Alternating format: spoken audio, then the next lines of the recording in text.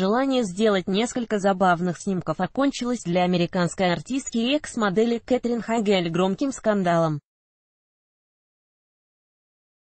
Звезда вместе с мужем посетила могилы родственников на кладбище в Нью-Йорке, где она решила устроить фотосессию.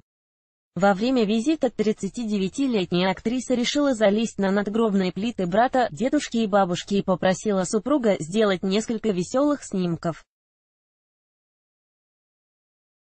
Фото она разместила в своих аккаунтах в соцсетях, но позже удалила из-за травли интернет-пользователей. О том, что на нее обрушилась волна критики, Кэтрин сообщила на своей странице в Инстаграм. Женщина объяснила, что пыталась найти какие-нибудь веселые моменты в тяжелой ситуации.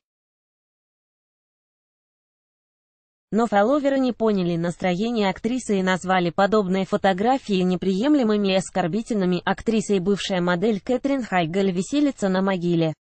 Тьфу, загнивающий запад, как противно все это пик.твиттер.ком косая черта си 2 ёсп смотри вай Тревор Колби, собака Тревор нижнее подчеркивание Колби, 27 июня 2018 года в итоге знаменитость записала несколько видеороликов с извинениями.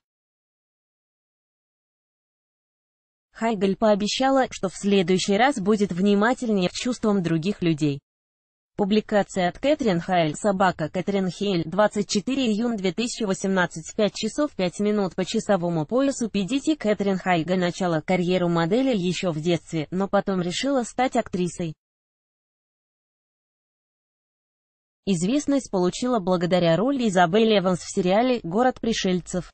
Настоящий успех в ей принесла роль здесь Иванс в сериале «Анатомия страсти».